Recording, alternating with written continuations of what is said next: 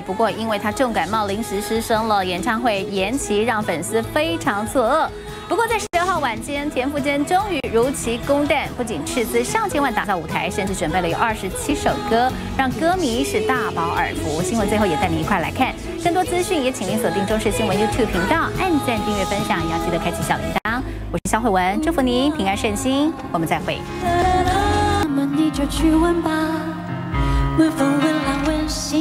问鸟，问钟，问所有逃逸的事物。